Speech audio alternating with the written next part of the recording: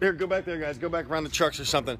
Uh, we have another, it's a happy client video without the happy client because the uh, Robert 67 was taken. Uh, but uh, here's the details that were done right before uh, the car left yesterday. So here it is. Robert is happy, rest assured. And his car is now sayonara, baby. The, uh, the old uh, window regulator out and we have just installed the new window regulator in and I have got this back track here. That bolts down here below the uh, behind the piston. So I have it aligned now to where I can take this one bolt out again because usually they have a slot down here.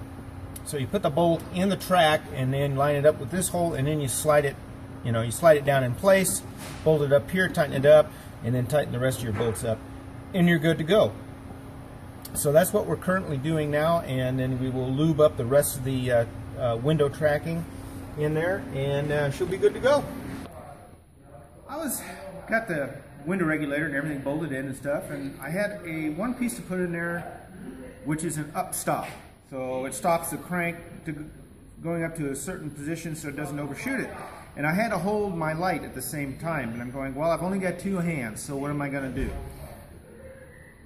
So it dawned on me, I bought this nice handy dandy flexible uh, positioning flashlight holder. And I've had it for a long time. I figured, well, this would probably be just as good as the time to use it.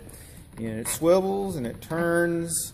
It's magnetic bottom, which I hope nobody has a magnetic bottom because they'll never get out of a metal chair if they do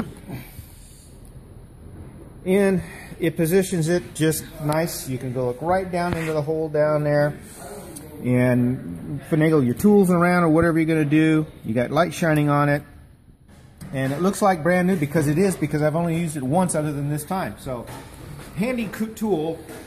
I recommend it for anybody that, uh, that uh, does turn wrenches or home use or anything like that. It's, it's great. All right, here's your regulator. It's in place all lubed up, working.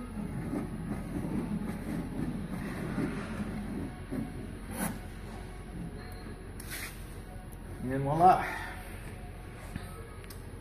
Got one working regulator again. All right, we have the we have the top up now and everything. It's a little bit difficult to uh, to get up and get latched. One reason is because there's cables somewhere about right here, let's say, on an estimate on both sides with an adjustment on one end that is used to adjust the uh, two and four forward motion on both sides as well as you know the pitch and stuff. There's other adjustments on the uh, linkage too uh, that you can adjust the linkage and everything so everything fits flat and square here. Uh, it's not doing that. The cable on this side is coming apart and completely frayed out, so it's not doing any good on this side whatsoever. It needs to be replaced. Um, my recommendation would be replace both cables on both sides so they're brand new, they're both even, and they both have the uh, proper amount of adjustment threads and everything on so we can go ahead and, you know, and do that. Uh, so my advice would be uh, is, is to replace those and uh, see what we can do about adjusting it to make it more better to uh, close for you.